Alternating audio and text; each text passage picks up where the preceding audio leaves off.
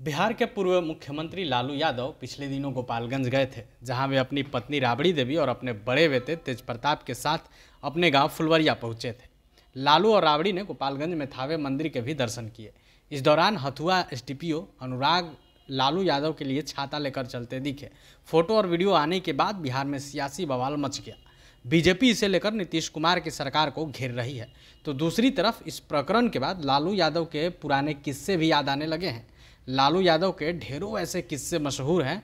कुछ किस्से सच हैं तो कुछ अफवाह भी हैं। बीजेपी तो यहाँ तक कहती है कि लालू यादव आईएएस से कूड़ेदान और थुकदान भी साफ़ कराते थे। छाता प्रकरण के बाद कुछ जाने तो कुछ अनजाने किस्से चर्चे में आ गए। बिहार के पूर्व उप मुख्यमंत्री और राज्यसभा सांसद सुशील कुमार मोदी कहते हैं कि लालू यादव जब सीएम थे, तब आई अधिकारी उनके लिए थुकदान उठाया करते थे। अब तो गनीमत है कि एसडीपीओ साहब लालू यादव के लिए छाता उठाकर चल रहे हैं। सुशील मोदी ने आगे कहा कि, नीतीश जी, क्या यही सुशासन है? एसडीपीओ पर कार्रवाई करने की मांग भी उठने लगी। हालाँकि बाद में एसडीपीओ द्वारा सफ़ाई दिया गया कि वह खुद की हथियार को बारिश से बचाने के लिए छाता लिए थे। चूँकि सुरक्षा में कोई चूक ना हो, इसलिए लालू यादव के नज़दीक चल रहे थे। बारिश तेज थी और लालू यादव बुज़ुर्ग हैं तो मानवता के नाते हमने उनको छाता से ढक दिया। मेरा कतई मकसद नहीं था किसी को वीआईपी ट्रीटमेंट देना। एसडीपीओ साहब के छाता प्रकरण से लालू यादव का एक और किस्सा चर्चा में आ गया।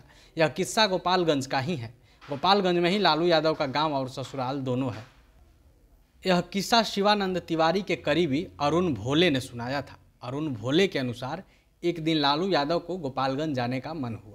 उन्होंने शिवानंद तिवारी को फ़ोन लगाया और पूछा कि, कहाँ है बाबा? इस पर शिवानंद तिवारी ने कहा कि, अभी सिवान में ही है।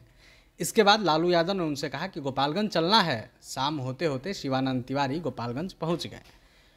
अरुण भोले आगे बताते हैं कि, गोपालगंज पहुँचने के बाद शिवानंद तिवारी लालू यादव की गाड़ी में बैठ गए।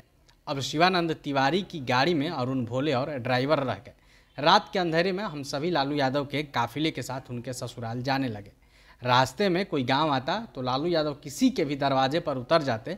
आवाज़ लगाते दरवाज़ा खोला हो, हम लालू हई इसी तरह घूमते घूमते लालू यादव अपने ससुराल यानी राबड़ी देवी के मायके पहुँच गए।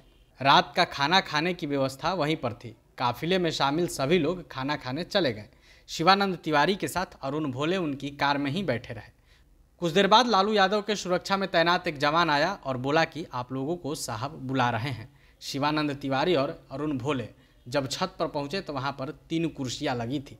एक कुर्सी पर लालू यादव, दूसरी पर शिवानंद तिवारी तो तीसरी पर एक और शख्स बैठा था। शिवानंद तिवारी ने अरुण भोले को अपने पास बुलाकर लालू यादव से परिचय कराया। इसके बाद अरुण भोले किनारे हो गए।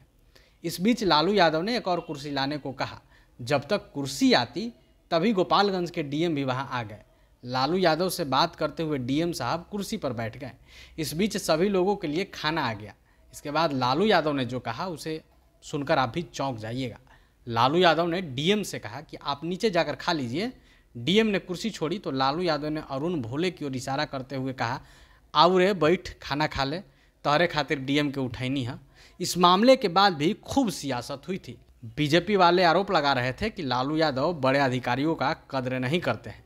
लालू यादव के ऐसे और भी कई किस्से हैं। ऐसे ही किस्से सुनने के लिए मीडिया दर्शन को सब्सक्राइब करें। अगर ये खबर आप पेज पर देख रहे हैं तो पेज को लाइक करें। वीडियो देखने के लिए आपका धन्यवाद।